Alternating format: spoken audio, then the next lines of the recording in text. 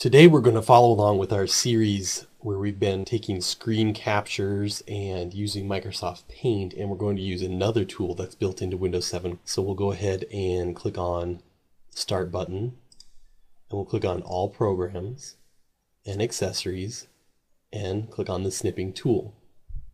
The Snipping tool is a tool that you can use to just take small chunks of the screen like we did with paint when we were just taking a crop of paint with this tool, it's much easier. So all we do is just left click with the mouse and then drag the cursor. And wherever you drag the cursor, it draws this box, and that's what's going to be snipped in the picture. So we're going to drag it up in the top corner and let go. And as soon as we let go, the snip program automatically snips that piece of the screen for us. So once we have that piece of the screen, we can actually do some other things. We can draw on it highlight it, and we can send it to people, save it, whatever we want to do. So if you click this pen button here at the top, then you'll have the pen tool and you can actually write on the screen with the pen. If you don't like that or you want to get rid of it, you can erase it with the erase tool. So you click on the eraser tool and you just click on one of the little lines that we drew and the whole thing goes away because that was all one big line. You can highlight with the highlighter if you click the highlighter tool you could highlight the word recycle bin. If you don't like that, you could also erase that.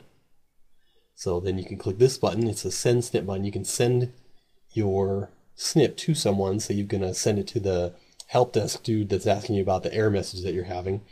You go ahead and just click that button and it'll bring up your email program.